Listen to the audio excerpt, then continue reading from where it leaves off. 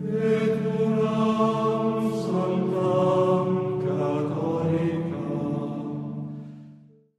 there. Welcome to this graduate course on the teaching of St. Thomas Aquinas on the good, the bad, the beautiful, and the ugly. Uh, many of you, those uh, who are taking the course uh, this semester, uh, have taken my course already on the, the one and the many uh, in St. Thomas and uh, that metaphysics course.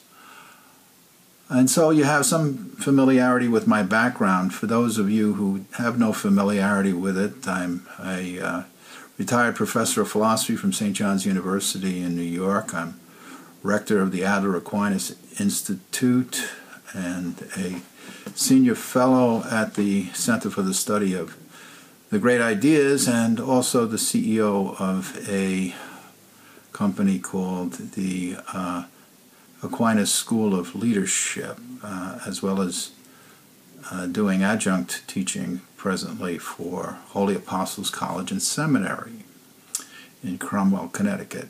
Uh, the um, I've been teaching on the uh, the university level, college level, for over 45 years. I have a specialization in St. Thomas, as well as in the, the history of, of uh, philosophy, uh, or what I think is would be better called a uh, Western intellectual history, because uh, uh, most of Western intellectual history considers aspects of, of intellectual work that are non-philosophical. Uh, what I want to do is start out this course the way I'd start out every course, uh, pretty much that I've taught uh, for a number of years. Uh, at least within the say last 20 years uh, or 30 years I was doing teaching on campus, and that is to ask ask you five students, uh, ask you five questions. Um, the the first of which is precisely who are you? All of the questions are precise. Precisely who are you? Uh, where are you? How did you get here? Uh, why are you chiefly here? And uh, where are you going from here? Now, I ask you these questions because uh, the the only way people can communicate effectively uh, one with another uh, is to the extent that they, they share a common interest. They share they share something in common. to the to the sense that, as people would say today, that they're on the same page or uh, that uh, the, they have a sense of belonging to the same organization and have the same end. Huh? Uh, the uh, whenever I come into a new situation, whenever anybody comes into a new situation, we're coming into a situation with which we're somewhat unfamiliar, unfamiliar territory, uh, and so I I consider that as a kind of territory where I'm I'm lost uh, and uh, to, to figure out how to uh, how to pro- how to progress uh, when uh, we, there's more than one individual and we have to cooperate uh, is to figure out um, how we share some sort of a, a common interest, a common aim, and that puts us into a kind of an organization, or what St. Thomas would call a, a genus uh, eh, because it's only it's only within the context of a genus that uh, or an organization we can start to make comparisons huh, uh, that relate uh, to uh, to a common activity. Huh? if if we have no common activity, then the comparisons that, that we make and and what we more or less try to do is just not going to be headed in the same direction. So um, the uh, I re- I ask you these questions because people have different purposes, different chief aims for why they're taking a course. Uh, some do it for economic reasons. They might want economic advances, advancements. Some some do it because they're interested in acquiring information or improving their understanding. Some people do take classes for enjoyment. Uh, uh, and um, it's the same thing with respect to teaching classes. Uh, I consider myself simply to be a better student, and my chief aim in conducting a course uh, is to uh, get at the truth of things uh, for the purpose of helping me to improve my life, to, to live a happier life. Uh, and along the way, if there are other purposes for which the course is designed, huh? Uh, to to also uh, include those as part of the chief aim. Huh? Uh, so, uh, if I were doing this course, uh, for example, uh, for purposes of executive training, and not only would I want to make people happy, but I want to make people happier, happy and happier in their professional life, so that getting at the truth of things would would improve their ability to do a particular type of work uh, which might be the aim for for you taking this class. For example, you might you might want to do it to improve your skills at uh, uh, at understanding um, uh, how to uh, how to engage in uh, more prudent decision making or to to understand your emotions better, um, to get get a better appreciation of of objects and their weaknesses and strengths, um, all of which are, we'll cover to some extent in this uh, in this class. So, um, but uh, if you're if so if you're not chiefly here uh, uh for the purpose of improving your life uh, and improving it uh, just in general or in, in a professional capacity. but for some other reason, well, how, whatever your chief purpose is, your chief aim, is going to determine how much you're going to get out of the class. Okay? Uh, and it's just something I like to have students think about before going on because uh, we're going to be spending a lot of time in this course, and um, I prefer you not to not to waste your time because time is uh, is, is, valuable. And um, the um, I also like when I start a course to make reference to two two quotes that uh, continually help me to focus on what I'm doing. One is this citation from Aristotle uh, that he gives in On the Heavens and the Earth that uh, uh, small mistakes in the beginning tend to lead uh, to larger mistakes, more numerous mistakes down the road. and a quote from the great uh, Catholic intellectual Etienne Gilson, uh, who, who said that most philosophical mistakes start from badly framed questions. Okay, so uh, I want to I want to I want to start this course huh, by um, uh, making sure that we're not making any small mistakes in the beginning, and uh, the best way to do that is to ask the right questions. Now, uh, in proceeding to, to deal with the question of the good, the bad, the beautiful, and the ugly, right?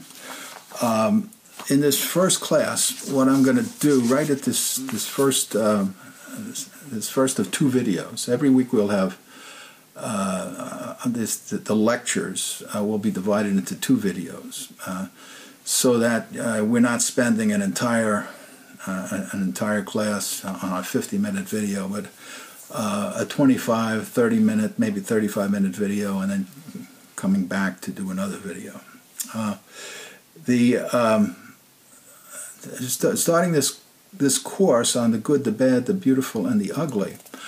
Uh, uh, since St. Thomas Aquinas was a theologian and he focused attention on uh, uh studying topics uh, from the standpoint of theology, uh, chiefly, I want to I want to start with what he has to say about the office of the wise man, since this is a course in philosophy. Uh, and St. Thomas thought that the job of the philosopher as well as of the theologian uh, was the pursuit of wisdom. To, to start with what he says at the beginning of his, uh, uh his um, masterful uh, Summa contra Gentiles, uh, where he says that the, the, the business of the, of the, the philosopher, according to both Aristotle and what the many say, what most people say, uh, is uh, uh, to set things in order and govern them well. Huh? That is, a person who's pursuing wisdom is, is in some, to some extent interested in order. Huh? is interested in a relation of parts and wholes and, and wants to know uh, how the parts and wholes are related to uh, an end. Now, the reason that St. Thomas refers to the to the many is because all, for two reasons at least. One is for, because for him, the study of philosophy, as it was for the ancient Greeks, always involves the study of the one and the many. Uh, and what the many say about things, both St. Thomas and Aristotle taught, could not be totally wrong, and that the way we chiefly tend to name things, at least not in a non professional way at the beginning, is by taking an, uh, uh, the, the, way things are named from the way most people uh, refer to them. Uh, the um, now, uh, in saying that the office of the wise man is to is to to set things in order and govern them well, to understand the nature of order, St. Thomas says, well, we chiefly get our understanding of order from an, an end. And this notion of an end is, uh, is widely misunderstood both in the teaching of Aristotle and in the teaching of St. Thomas. Uh, what they mean by an end uh, is an initial act uh, that's what today we would call an external stimulus, uh, uh, either for a uh, uh, some sort of existing thing or for a human being. ends for human beings or aims they call purposes. But they don't consider inanimate beings to have purposes. But in, inanimate beings do have do have ends, in the sense that they have external stimuli uh, which affect their internal organization. Um, and uh, the uh, with respect to human beings, uh, the end is this an external stimulus that motivates, that causes a subject to move toward it, huh? to attract it uh, uh, as a a, uh, to, uh, a, a subject in, with which it wants to it seeks to be united. Uh, for example, the chief end of uh, of firefighters is to put out the fire. Okay. Uh, if, they, if, if people have no interest in fighting fires, and, and if their cooperative last act is not to put out the fire, then they can never they can never cooperate in an orderly way. Huh? So, uh, wherever St. Thomas and Aristotle find a multitude of beings acting cooperatively huh, to generate a single act, that last act is their first in intention. It's what they first seek to do. Huh? Without the external stimulus, there is no unification of this multitude to become parts of a whole. Huh? And when St. Thomas and Aristotle are talking about uh, uh, the, the natures of things, what they're chiefly talking about is what today we call an organization. Huh? A multitude made up of parts. And parts cannot exist unless there's a relationship between or among members of a multitude and a common act. Huh? Uh, uh, disconnected uh, uh, multitudes, multitudes that have no relationship to a common action are not parts of a whole. If you have parts of a whole, you have an aim. The aim exists in the beginning. It's there right from the very start. just as St. Thomas would consider a, a maturely developed person, human being, huh? Uh, to to be present in an immaturely developed way right from the beginning in a uh, in a human being or a person who's seeking to drive uh, from New York City to Buffalo, New York. Uh, Buffalo, New York is in the beginning uh, as part of the uh, of this operation, huh? this organizational activity. if it's not there from the start, then you have a different activity. Right? But any singular act that's composite has an aim, something that has that, that has motivated, moved huh? a multitude uh, to be attracted toward it and has established a relationship among the parts, uh, among the multitude, to transform them into parts of a whole. So St. Thomas says that we, we, we take the rule of government, uh, the order for all things directed toward an end from the end, from what's externally stimulating us in the beginning. Huh? That can be a conscious object of desire, right? Uh, or it could be some something else that's exercising a kind of magnetic attraction on something. Huh? But the union with the end, right, uh, is what is, is what interests uh people who are concerned about order. Huh? Uh, and uh, that's one of the, the chief elements that they, they seek to understand. the um, St. Thomas also maintains that everything uh, is best disposed or ordered uh, uh, when it is fittingly or proportionately ordered to its end, when its parts, that is, are unequally ordered. Now, this this notion of being proportionately ordered is very is, is very important. St. Thomas will use this notion of proportion uh, repeatedly uh, throughout uh, different writings. Uh, and he'll refer to it in other terms like suit, suitable or fitting, huh? uh, because nothing uh, moves uh, toward something uh, that uh, it does not have the power in some way to, to be attracted towards or be attracted by. Huh? St. Thomas will call that a proportionate kind of, uh, of, of, relationship. Hmm? Uh, wherever you, you have a, an agent and something being acted upon where one is stimulating the other, there has to be some sort of proportion, huh? some sort of equality uh, between the giver uh, and the receiver.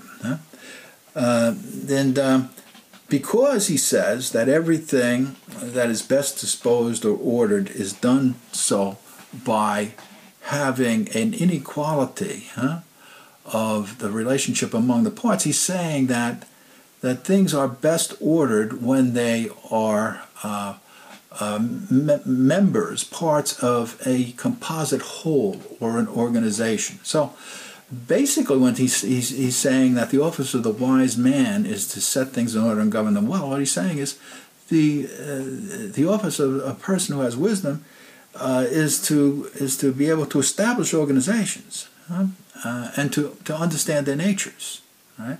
To understand, to understand what makes them to be organizations. In fact, I maintain that the ancient Greeks themselves, this was their chief area of interest in doing philosophy. The problem of the one and the many for the ancient Greeks was not simply a, a problem for ancient physicists, it was the problem of ancient philosophy and trying to understand uh, what are organizations? How do organizations differ one from another? Uh, what holds them together? Uh, what causes them to be broken apart? Uh, unity holds them together in some way, and unity for the ancient Greeks was chiefly a quality. Hmm? Uh, and organizations differ on the basis of the quality of unity that causes them to be united, uh, which quality, in a way, gives them their good. So there's a direct connection between the study of the problem, the one and the many, and the study of the, uh, the good, the bad, the beautiful, uh, and the ugly. Uh, now, uh, according to St. Thomas, because all things are, are, are, best disposed when they're fittingly or proportionately ordered, uh, uh, the um, uh, what uh, the wholes that are, are studied are composed of contraries, of parts that are more or less perfect, unequal parts. Right? Uh, somewhat, to some extent, unequal parts uh, that unequally contribute uh, something uh, to uh, the um, the achievement of an end. Um, to say to say that they're unequal doesn't mean doesn't mean that they don't contribute something that is significantly important to the the achievement of an act. Huh? Uh, uh, the person, for example, who's carrying out a, um, an activity that is not that of a commanding general, uh, nonetheless in tactical operations will win a victory huh? Uh, for a, an army, huh? Uh, and will be doing something that perhaps the general couldn't do. Right? Uh, the general commands in a more in a more general way. the uh, the the person on the uh, in the in the field, the sergeant, uh, for example, commands uh, in a in a more individual way and does something that the general couldn't. But the po- the point is that their expertise uh, has to be unequal uh, and unequal in its its own perfections uh, to contribute to the the harmonious operation of the whole. Uh, so. Uh, because of this, he, he maintains that arts are architectonically arranged. Huh? Um, one is the means to the good of the other, um, as um, one art uh, acts for the end of another. Uh, Aristotle gives this example where he says that the uh, the art of use governs uh, uh, the the art of producing. Huh? That is the art of the art of sailing governs the art of shipbuilding and uh, which is uh, uh, one of the examples that, uh, that St. Thomas gives, or how the art of horsemanship uh, governs the art of weapons production that, that of, of, someone who who is an equestrian in a in an army, huh? or the um, as I've already mentioned, the art of use governs any art of production. Now, the arts that govern the ends of the particular generic wholes, he says, uh, um, reaches uh, that the, the uh, none of the arts, he says, that um, uh, govern the ends of the particular gen- generic wholes uh, reaches the end of all generic wholes. Uh, none of the particular arts um, studies uh, the end of the entire universe. Uh, hence, he, he maintains that the wise person uh, uh in a particular area of study, in, in a particular area of organization, uh, of organizational expertise, is not the absolutely wise person. It's not the person who's unqualifiably wise. Uh, the absolutely wise person, he says, considers the ends of the universe. Right?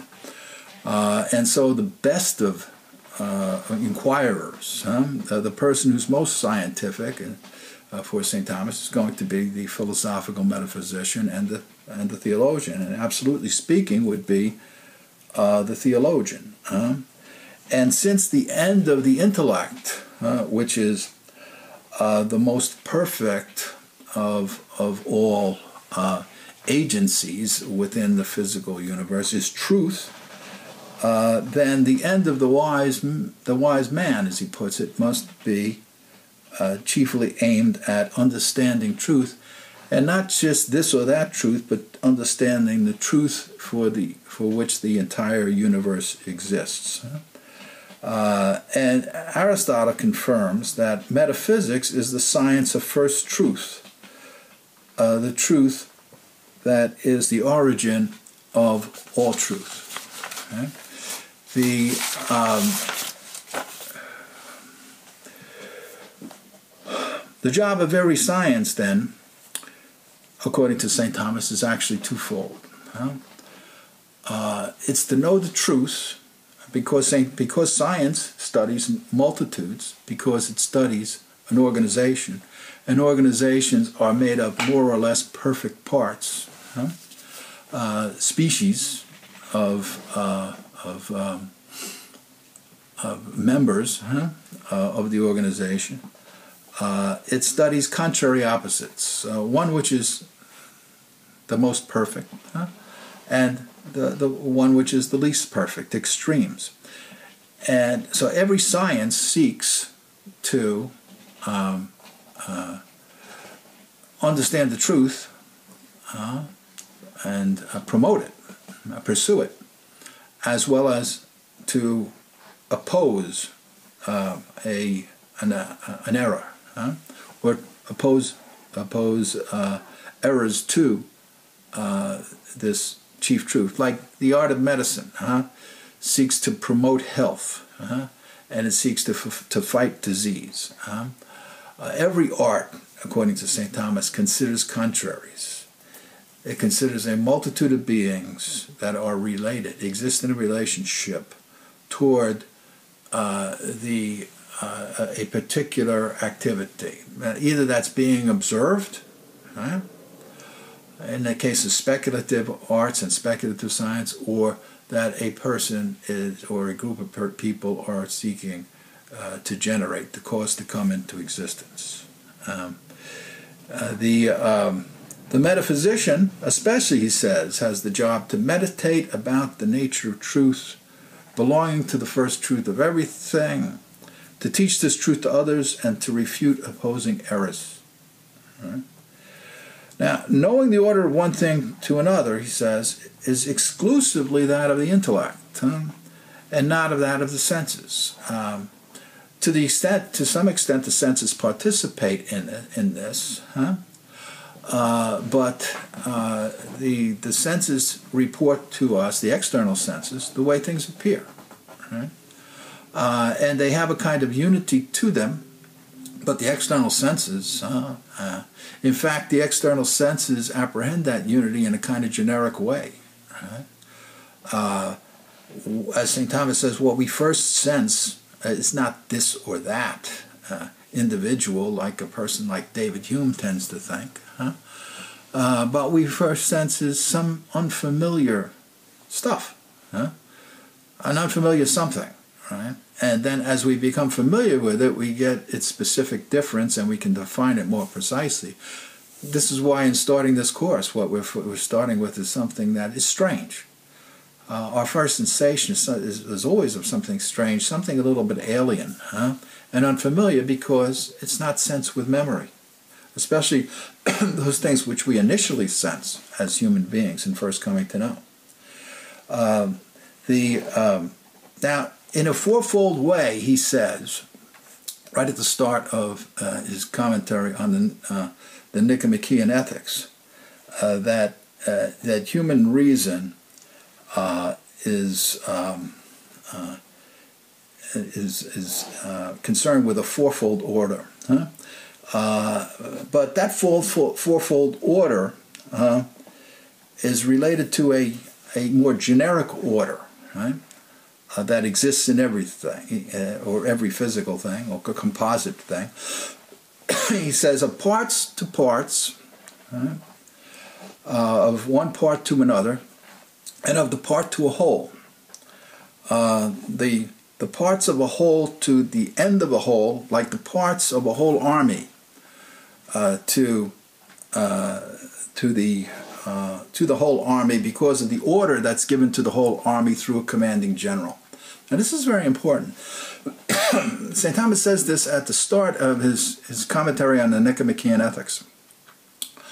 Um, he makes this observation, right, uh, regarding and, and, repeating what's said uh, in the um, in his um, uh, summa contra gentiles, that the office of the wise man is to set things in order and govern them well.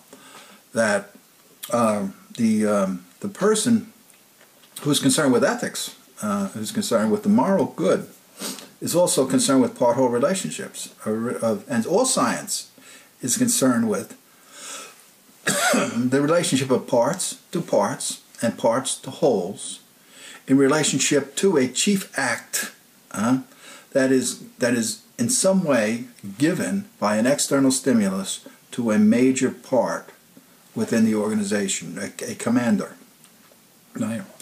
Uh, the uh, and is communicated uh, to the multitude because St. Thomas considers all organizations to be communicate what we today would call communications networks. In fact, that's what Aristotle basically understood by a substance. Huh? a substance was a kind of self-arranging organization, uh, a communications network hmm, uh, that is is is developing a relationship among its parts uh, according to a chief activity uh, that it seeks to, to, generate more than any other kind of activity.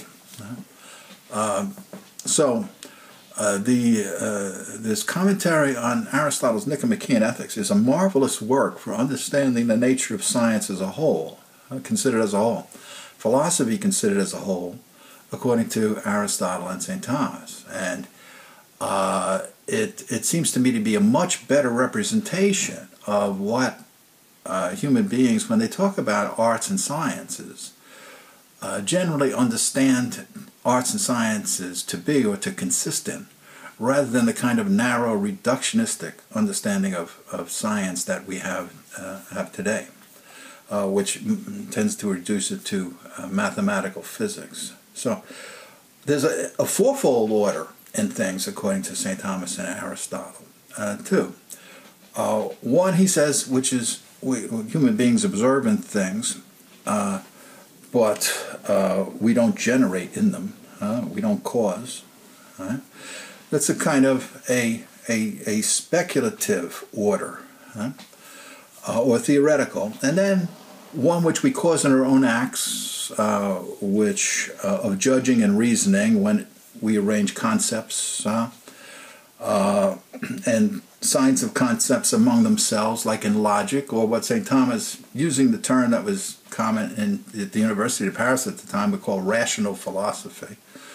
Uh, but strictly speaking, he didn't consider philosophy. Huh? Uh, logic being the tool, a tool that the philosopher uses, uh, and philosophy basically studying the natures of things, huh? Uh, according to different habits of mind. And then a third type of order uh, which uh, we cause in the operations of wills, our wills, which is ethics, huh? and which we cause in external things when producing houses and the like, he says, mechanical arts and fine arts. Huh? So there's a fourfold way, he says, that order relates to human reason. Huh? With respect to speculation, uh, just observing order in things, causing order in things, uh, eh, with respect to logic, causing causing order in the will, chiefly, uh, or the appetites, in relationship to ethics, and in relationship to uh, to practical activities and productions in which we engage. Huh? That's a, a, magnificent summary of the whole of artistic activity and scientific activity that, that St. Thomas gives. Huh?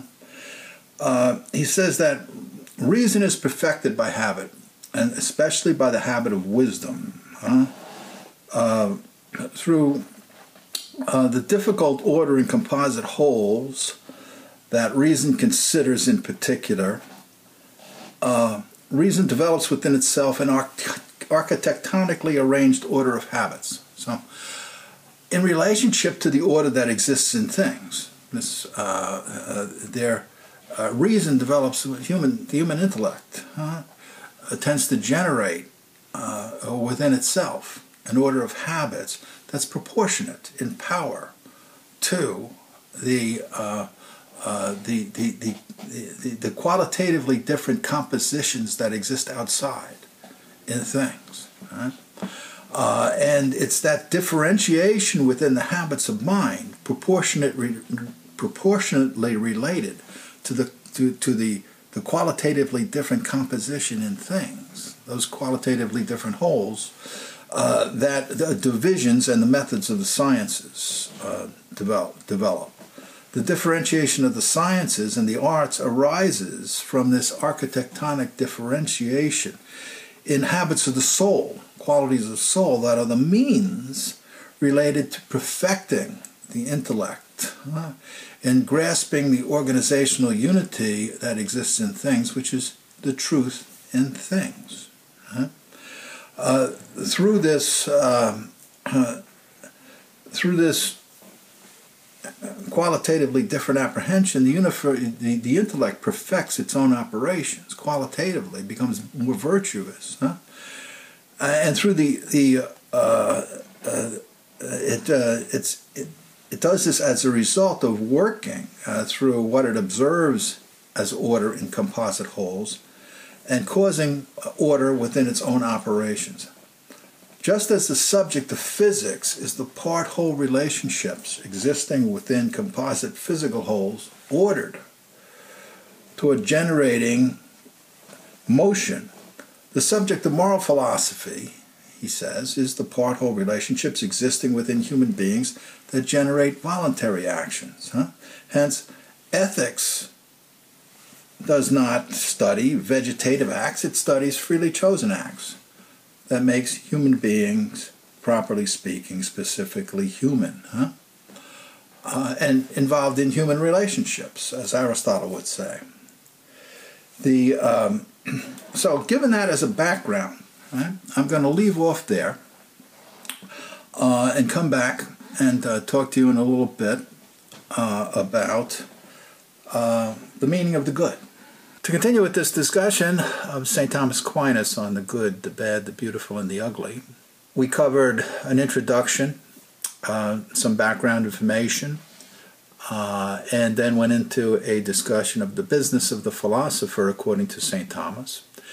And we examined that from the perspective of a theologian, uh, because uh, the method of the theologian is to start with God and then reason to the world. And the method of the, the philosopher classically understood, the way the ancient Greeks understood it, is to go from the world to a first principle, to wonder about the being of things, uh, and then from an, a, a, um, an exposure to, uh, uh, to paradoxical um, situations, to contrary opposition, to, uh, to apparent contradictions, to try to uh, reason out how the, these these contradictions, in some way, apparent contradictions, uh, are not really contradictory. If we would approach the, the study of good philosophically, the way the ancient Greeks arrived at it, we we would first experience the world to a certain extent as chaotic uh, and uh, disordered, uh, but nonetheless possessing order, and we would wonder about uh, what it is that exists within that thing that causes the wonder. Uh, I mean, causes the order. St. Thomas has no, no wonder about this. As a, a Roman Catholic theologian, he knows that God is the cause of the, the order in the universe and is also the cause of all goodness and all diversity in things. Um, so uh, because of the fact too that we're we're examining this uh, this uh, this course against the background of seeking happiness. Huh? It makes sense to start with St. Thomas's works where he talks about uh, uh, the pursuit of happiness being related to the pursuit of the good, right?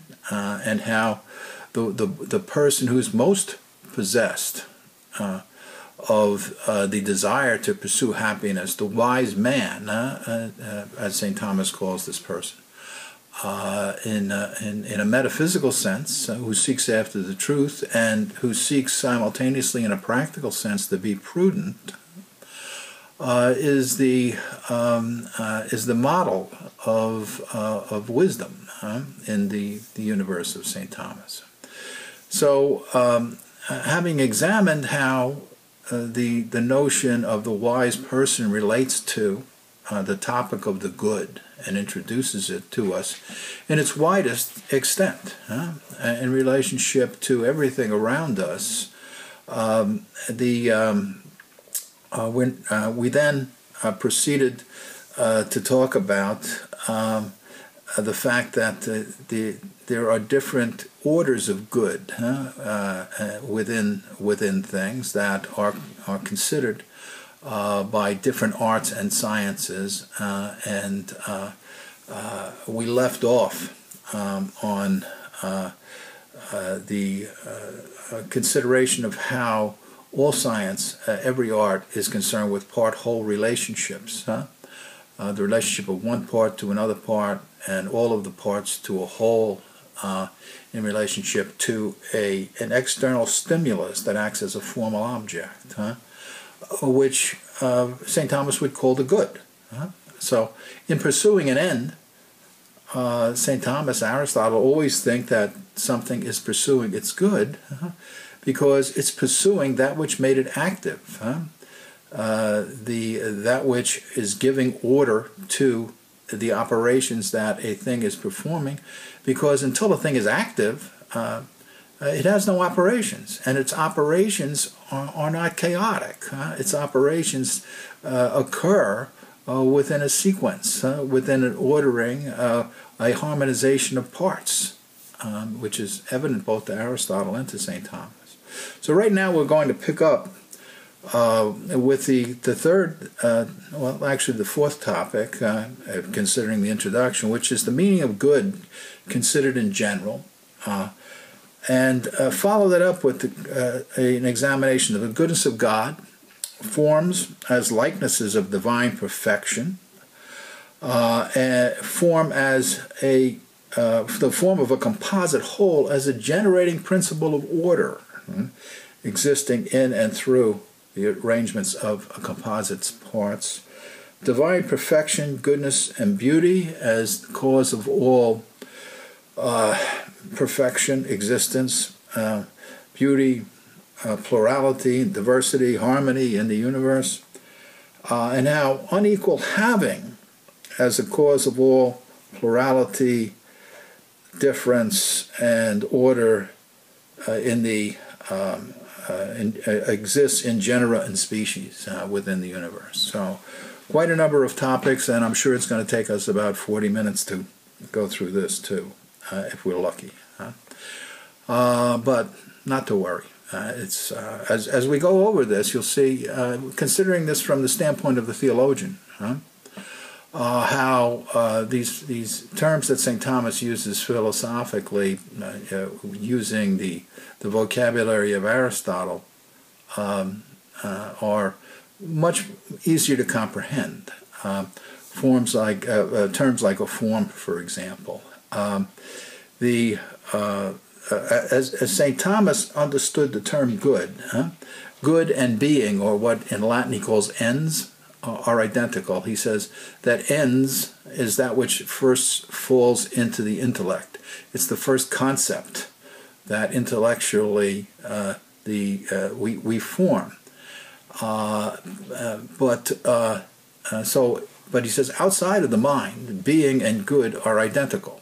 and ens for Saint Thomas uh, which is what activates our intellect, just like color activates our power of sight or sound activates our power of hearing. Uh, being um, is that to which our intellect responds, to the extent that we apprehend something as existing. Right? Uh, uh we, we react to it. Huh? Uh, our mind becomes active. our mind takes on a an identity uh, as uh, a, um, uh, a, a kind of nature, an intellectual nature. Uh, independently of that, uh, uh, we we the, the intellect exists in a kind of imperfect form of of being. Uh, just like when you don't see, uh, or if you totally lack the capacity to see uh, because of some sort of organic damage, uh, there would be some uh, there would be something incomplete from the standpoint of your being a composite whole. And this this notion of being a whole or being a composite whole is chiefly what St. Thomas identifies good with. Huh? Uh, being and good uh, are identical in this respect, but good takes on the additional notion for St. Thomas of perfection. Uh, according to him, what causes something to be good is precisely the fact that it's desired or desirable, following Aristotle. Uh, but what makes something desired or desirable is, is the fact that it's whole. Uh, when we're talking about a composite whole, we mean it's got all of the parts which uh, it needs uh, in order to be the whole that it is. Uh, and they are related in such a fashion as to be, ena- be enable uh, this whole to be a whole, for the parts to be parts. Huh? So uh, the um, he, he talks about the, the, notion of good in terms of sharing and perfection. Uh, and a lot of times today, people don't like that idea of perfection. We'll talk very often about there being imperfections around us all over the place. uh, and how they could. We, this would make sense without there being perfections. Uh, um, is is is puzzling, but. Uh, in, in the uh, to the ear of Saint Thomas, the term "perfect" simply means complete, huh? and uh, and and um, anything which has all of the parts uh, to it, which which gives it the unity or identity that it needs in order to be operative, huh? uh, is that which makes it perfect, in the sense of being complete. Huh? That's why Aristotle says that uh, a, a substance uh, uh, cannot, strictly speaking, exist unless it has uh, all of the parts. Uh, that uh, enable it to be a substance because it can't be operative. Huh? It can't be. It can't engage in action. Uh, it can't do things unless it's it's complete or whole huh? in its being. But because of the fact that the the notion of good huh, adds to a being. Um, uh, the, the the notion of uh, of, of being complete, not being incomplete. It functions somewhat like the principle of unity does, huh? Where St. Thomas says that unity, we get the idea of unity from recognizing that something resists divisibility. Huh? Uh, well, uh, that which that which makes something desirable is the fact that that's, there's something in it huh? that is resisting uh, uh being uh, being fragmented or, or, or uh, having its parts separated so that it does not function harmoniously uh, as an organized whole. Mm-hmm. And uh, the, the, the good of the thing, uh, in as much as, or the being of a thing, in as much as we grasp it, as as activating our uh, our appetites, chiefly our will, uh, uh, is what differentiate, differentiates it from being, which is the formal object of the will, I mean, of the intellect. Huh? Uh, so, uh, uh, in, in, a way, the, the, good for St. Thomas, since it fulfills the natural desire of the intellect to know truth, uh, I, am sorry, since the, since the truth fulfills the natural desire of the intellect huh? uh, to know uh, the, the, tr- the truth of a thing, huh? Uh, which consists in, in its, its, uh, its, its completeness of, of internal parts and organization huh? Uh, in the thing, just considered as, a, you know, as, as, as being the principles that hold the thing together and unite it uh, that truth uh, is the good of the intellect.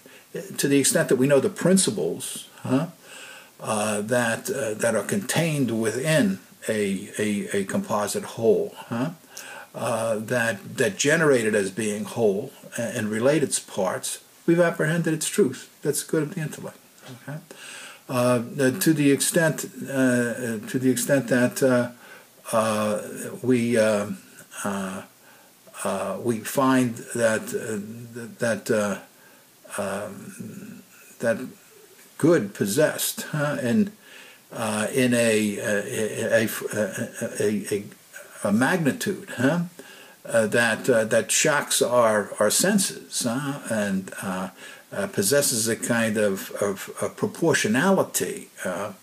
St. Thomas says, well, that's beautiful. Huh? So the, the good and the beautiful are a, little bit different, and I'll go into that um, in a little bit. Uh, but um, so um, the the perfection huh, of, uh, of, being's act of existing, according to Saint Thomas, huh, uh, gives to it what I uh, what I've called on, in our, our, course on the one and the many a, a an intensive quantity, a kind of of greatness, of possession, uh, ability to have. Huh? See, uh, God, according to St. Thomas, uh, creates the universe by causing imperfect likenesses of, uh, of, of, of, the divine existence. Huh? God is perfect existence. Uh, so God creates the world by creating imperfect existences, huh? beings that imperfectly have uh, existence. Huh? Uh, and uh, that imperfection of the possession of existence, that principle which imperfectly possesses existence?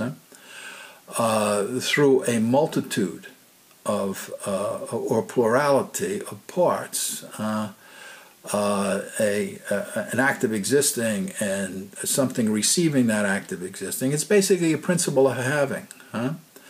Uh, in a limited way, is what St. Thomas calls a form. The um, so all the division, huh? Uh, all the pluralization that is found within the universe, according to St. Thomas, is related to this imperfect possession or imperfect having huh? that that uh, some pr- pr- privation, uh, which is a form, uh, uh, has in relationship to an act of existing. Um, the um, that which is totally uh, perfect or complete is absolutely perfect according to St. Thomas. Uh, is perfect simpliciter. Uh, the good adds to the meaning of ens or being the idea of being perfect and complete. Right? Um, that which is not totally perfect or complete is obviously not absolutely perfect. Uh, intellectually considered, uh, the uh, he says the concept of being precedes that of good. Uh, it's what we the, the, intellect first conceives, uh, but causally considered, he says, that good precedes existence in this respect that uh, for you to know that something is existing, you have to have a subject that's whole and is good. Huh? That's generating an action that can cause you to be able to know it, cause us to be able to know it. Uh, but since only that which exists can be desired or desirable, the act, the what St. Thomas calls the esse of a thing, uh, causes and ends to be the act of all acts and the perfections of all perfections. Um, everything that exists is good, according to him, because God, who is absolutely good, causes all other things. Existence is the actuality and what is actual in some way perfect uh, in everything. Um, the uh, while the idea of good chiefly refers to the idea of being as desired, right, or as desirable, it also contains the ideas of efficient or formal cause, because the act of causing starts with what will be caused or achieved last in the subject move to act. I talked about this before. Huh? That the first act of an agent starts with an initial relation huh? a, a, a union, huh? a, uh, a, the, the fact that two things have been proportionately uh, uh, constituted so that they can relate, they can unite. They've got limited re- limited receptivity and resistance toward one another, uh, so that they they're compatible or suitable. Huh?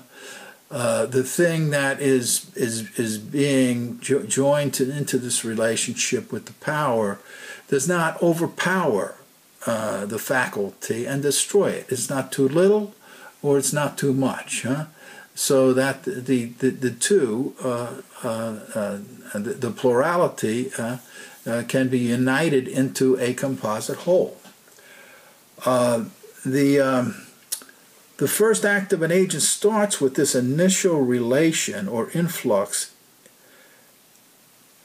into a thing. Um, uh, and it's its last, even though it's its last act. Um, just like the inflamed piece of wood starts being inflamed by becoming re- related to fire through heat. Uh, that's why Aristotle points out that the beginning of the relationship starts with qualification.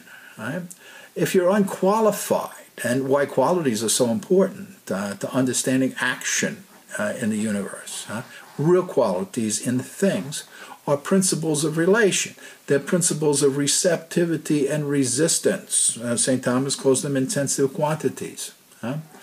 Uh, the extent to which uh, a thing cannot be totally resistant um, uh, uh, to something, uh, enable to, to some other thing, enables enables this this agent, this other form, to be received into the subject that it's it's acting upon. Right.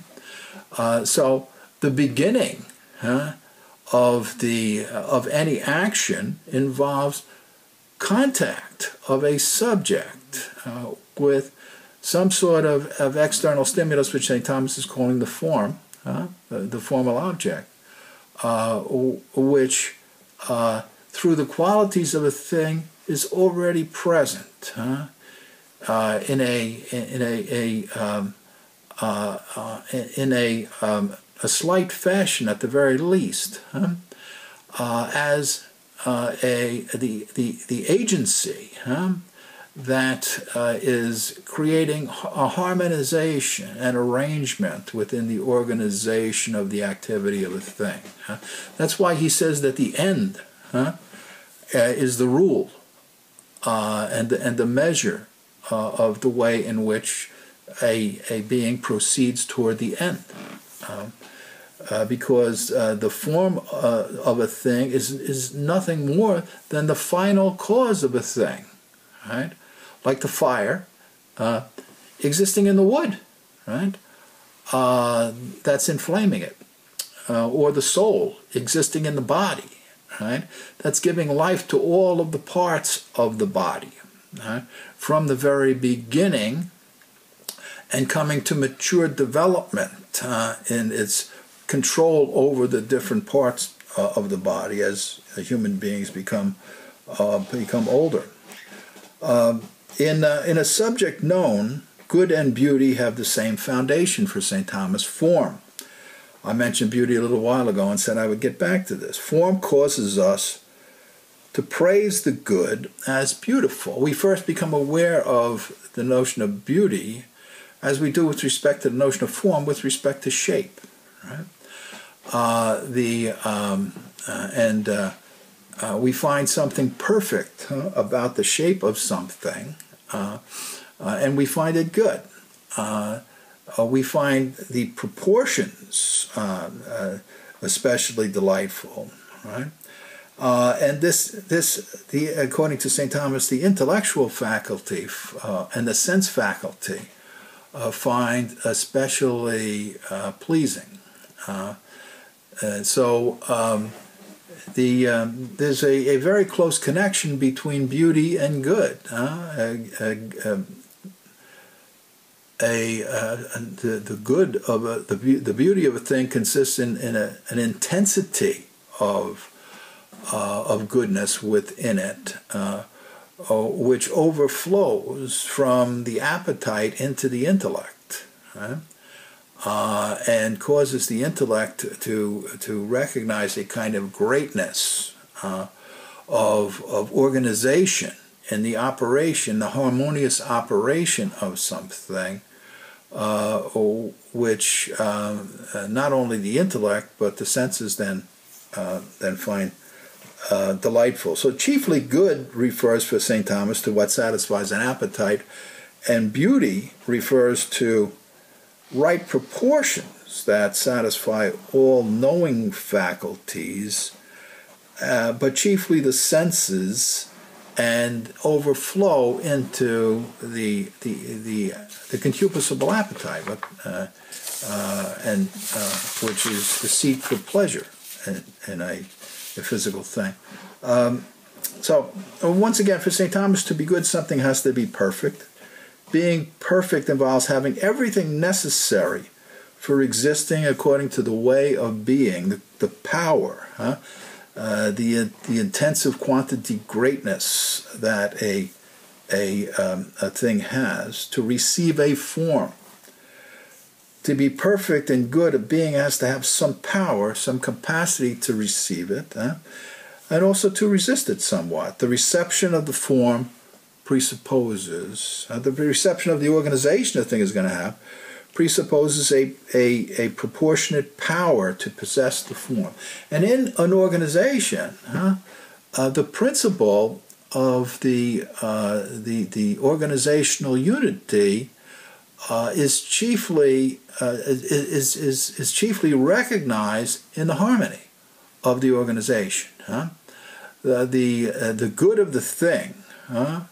The good of the organization uh, consists in the harmony of the organizational parts. That's that's how we first recognize the good in things, and we recognize that there's some sort of a principle, uh, which St. Thomas would call the form, which uh, is uh,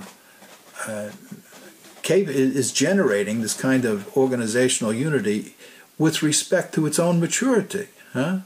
The organizational maturity. Uh, the organization is uh, existing in the relationship uh, of the parts uh, to their harmonious and, and mature development. The good precisely is the organization uh, in its harmonious operation.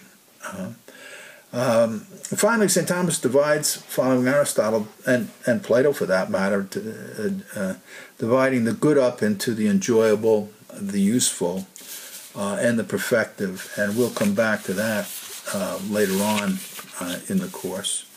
Uh, right now, I want to go into the goodness of God. Um, and um, as the first efficient cause of everything, according to St. Thomas, God is the supreme good, the good of all, the, the cause of all perfections and good in creatures. As an image of God, uh, every effect causes, possesses a finite, intensive quantity, greatness of perfection and goodness. That's what a form is for St. Thomas. Huh? A form is a limited way of having a divine likeness of perfection. Uh, God is absolutely perfect existence. Uh, a form is an imperfect likeness of perfect existence. Huh? It's a limited good, as Plato would call it. the um, he says that a threefold uh, perfection exists in things according to the, the, nature of a thing, according to its properties, and according to the extent to which it attains its end. Right? This prefold perfection in, exists in God uh, in an undivided sense, uh, where where God uh, God does not have to utilize properties. Um, uh, what uh, St. Thomas calls essential excellence, like quantity and quality, which are quantity and quality in a sense, in a material thing, uh, in order to be completely whole and exist perfectly whole.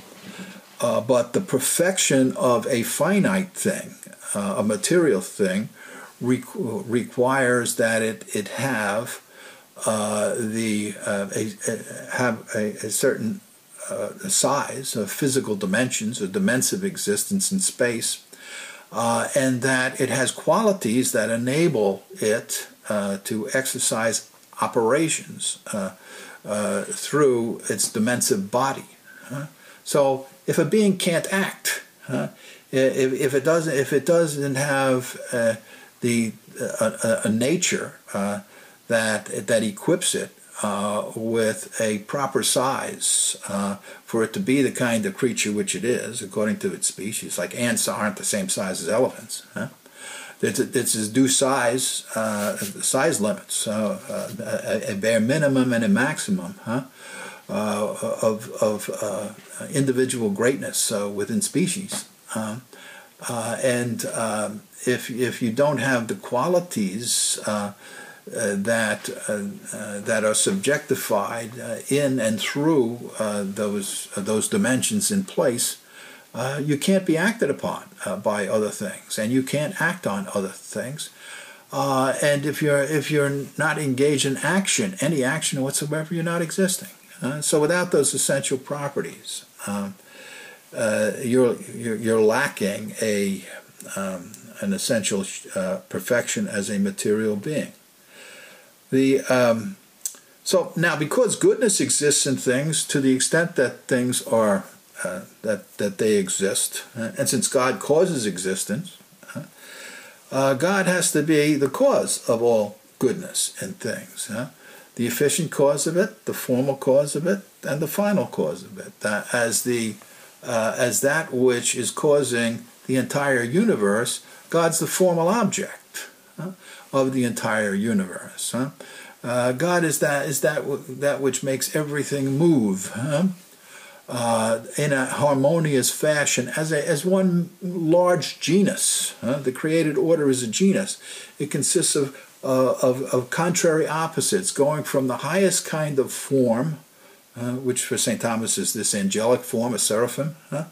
Uh, down to the uh, um, the most barely existent um, inanimate type of form, which we would we would uh, consider to exist on subatomic levels huh? uh, uh, uh today, huh? Be um, beings that are barely beings uh, whatsoever. Uh, the um, because no one creature can adequately express the perfection of God. And, and the universe is created as a likeness of God. Uh, uh, St. Thomas explains the existence of diversity uh, in the universe and plurality in the universe to be due to the fact that uh, God, as a, a an absolutely good being, uh, seeks to share divine goodness, and God can only share divine goodness by sharing divine likeness, uh, and as an extensive amount, extensive amount as as possible. Huh? Uh, as widely and as deeply as possible. So uh, this requires that a a um, uh, an order, huh? a division of forms exist, huh? Uh, where where you have a kind of formal resistance. Huh? Uh, uh, between these levels of forms that create different genera, right? and these um, these different genera uh, are divided by imperfect possessions. It's like it's like an order of corporations huh? that is that is brought about uh, uh, through uh, distinctive operations that the the organizations perform based upon the perfection of the uh, of the organization uh, to to reflect the perfection of action uh, of its uh, its chief executive order, uh, executive officer, uh, uh, or, or chief cause. Um, forms for St. Thomas are likenesses of God. they're imperfect ways of having existence, right? and these imperfect ways of having existence share that this imperfect way of having existence uh, which is a, a, a mo most uh, perfectly generated from within themselves, from their um, uh, from their own ability uh, to uh, to support their own activity without external assistance and aid, huh? by a kind of internal liberty. Huh? Uh, and you, you chiefly find this in its highest dimension, huh? Uh, in the most perfect mirroring of divine uh, simplicity uh, in uh, intellectual beings. Uh, so, uh, Saint, even though St. Thomas thinks that you can't demonstrate the existence of angels, he thinks that the beauty of the universe um, makes it reasonable to take for granted or, or to take, take for granted the plausibility uh, of the, the existence of the universe, even from the standpoint of natural reason. Huh? Uh, that um, the, uh, the, that there's no way to expre- express uh, or to explain huh, the order and the organization within the universe. Um, uh, the, the goodness of things, the beauty and the order, the harmony that exists within things, uh, unless you you uh, um, you posit the existence of a, uh, a, a, an absolutely perfect being huh? uh, that uh, can explain how contrary opposites uh, can harmoniously cooperate to, to to to generate a a common activity. throughout an, an order of, of perfections of organization where where these are architectonically arranged. Huh? So the lower organization serves as a higher, serves as a means huh? uh, for the coming into existence and the, the maintenance in, into uh, in existence of of higher of higher organizations, uh, and the higher organizations support the existence uh, and maintenance of the lower organizations. Um, the uh, every perfection, according uh, to St. Thomas, in creatures exists in God, but exists in a uh, a more perfect way. Uh, the the form, as an imperfect likeness of God, causes the generic and specific order, a hierarchy of genera and species, huh? of organizational wholes huh? that generate oper- operational uh, uh, operational effects uh, and exist through those operational effects. Uh, uh, the, the unity of the organization doesn't exist apart from the actions of beings that imperfectly possess uh, the organizational whole. Like the army exists in the general and in the private uh, and in the corporal and sergeants and so forth. Huh? Uh, every organization exists within the, the operational parts. Huh? Uh, that that give a, uh, a, a, an order um, and and unity and wholeness uh, uh to the organization uh, that consists in the initial relationship between the, the qualified multitude and the aim that uh, that the, the the multitude is unequally related to. Um, the so the form of a composite whole is a subject's end fully realized in the subject through the orderly arrangement of its parts. Uh, it's it's a kind of harmonization um, that that overwhelms uh, as it truly develops uh, uh, the the whole. It exists in the whole as a principle uniting all the parts to constitute a whole as a principle of beauty and goodness. Uh, uh, so uh, within every organization, uh, there is a principle of harmony and order, uh, which gives to, to, which gives to that whole its unity, and without without the relation, the unequal relationship of parts that are that are, that constitute a communications network uh, in relationship to to to some cooperative activity uh, that they are receiving into themselves and distributing throughout themselves in a communications network, um, uh, there, uh, there is no uh, organizational whole. Uh, organizations wouldn't, wouldn't, be, wouldn't exist. How the order and harmony of parts existing among diverse things causes in them a kind of beauty um, is is due to the fact that the uh, uh, this harmony is proportionate, huh? is suitable, huh? that the different parts are related in such a way as they they, they do not excessively resist, huh? or, or too too much overly uh, re, uh, receptive uh, to um, uh, the operations of of each other. Right now, um, the the way this this is achieved is through uh, through inequality. Uh, that uh, according to Saint Thomas, God rules the universe uh, uh, by having superiors in some way. Uh, um, regulate the behavior of beings, of stronger beings helping, or weaker beings to cooperate. Right? Uh, uh, so, so, that uh, they can engage in, in, in, a kind of complementary activity uh, to, to, to um, um, uh, achieve a kind of, of, of organizational perfection. Huh? the, this inequality of perfection in having goodness is what St. Thomas considers to be the origin of uh, all plurality, diversity, difference, and order in all genera and species. Huh? It's an inequality of possessing perfection in goodness, right?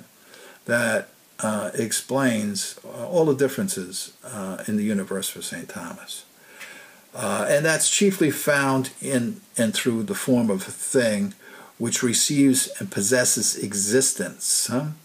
uh, in a uh, uh, in unequal ways. In in an angel, for Saint, for Saint Thomas, the angelic form is able completely and totally uh, to hold on to existence, so that once it receives it, it can't never cease to be. Uh, uh, so that it there's nothing internal uh, to you know to to cause it to lose lose existence. But uh, material things, uh, uh according to Saint Thomas, uh, are imperfect as forms. they're imperfect as as receivers, as being able to have existence, and so um, the um, uh, this is why human beings and other uh, uh, material beings come into existence and go out of existence. But the point here is, is that for St. Thomas, the forms of things are uh, are diversified as the enabling means for receiving perfections. Huh? Matter is not. Some people thought uh, that matter is the chief principle of diversification, for explaining differences in things. Matter makes things different. Forms makes them make them the same. Uh, but according to St. Thomas, uh, it, it's the form of a thing. Uh, that's the chief cause of diversification because God's the chief cause of diversification. Uh, and, and, and the act of creation is the first act of diversification. It separates being from non-being. Huh? So if you, if you ask, if you you might ask an ancient Greek, what's the chief cause of differences in things? The ancient Greek will say it's the matter of things. Matter causes them to be different. St. Thomas would say, no, God causes them to be different, uh, strictly speaking. Huh? Um, as, a, as you might say, a remote cause, but the proximate cause is the form, the form of things. Uh, even as the first creation, the angelic beings uh, are the first creatures. Uh, so they would be the cause of diversification. It's only in relationship to form uh, that we know the matter of something, or, or, that the matter of something can, in some way, contribute to division. Uh, the uh, uh, now, St. Thomas is teaching on, uh, on uh, the way in which matter contributes to the division of things uh, is, um, is, is a little bit complicated, uh, and uh, uh, it, um, it's, it's based upon um, the, the notion that, strictly speaking, a matter um, in and of itself um, cannot cause uh, cause diversification. Uh, it can only do so in relationship to uh, to forms, uh, and there are a series of diversifications that occur within a physical thing. But I'm not going to go into all of those uh, because uh, the um, it um, it it's not necessary for you to understand in order to understand the basic principle that he's talking about. Uh, that it's it's chiefly the form of the thing uh, that is the cause of its um, uh, its difference, its differences, and its divisions. Uh, and matter contributes to that by being receptive, huh? being proportionate uh, to assuming or taking on the kind of a form which is and, and the kind of harmony, huh? the kind of organization that exists within a thing. So I'm going to leave off with that